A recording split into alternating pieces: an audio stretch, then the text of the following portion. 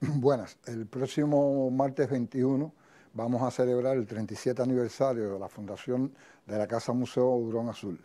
La apertura de la misma estuvo a cargo de una figura muy importante de la cultura cubana y muy amigo de Carlos, el poeta y narrador Felipita Rodríguez.